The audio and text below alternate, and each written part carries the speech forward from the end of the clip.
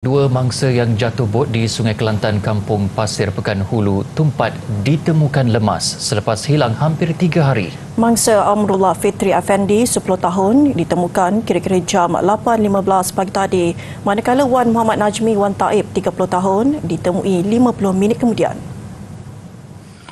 Ketua Polis Daerah Tumpat, Asisten Komisioner Amran Dollah berkata, kedua-dua mangsa ditemukan berdekatan lokasi pencarian. Kedua-dua tu kita jumpa terapung terapung di air terapung di air. Kedua-dua terapung? Kedua-dua terapung. Di yang Amirul Fitri itu kita jumpa uh, di tepi tebing sungai okay. eh?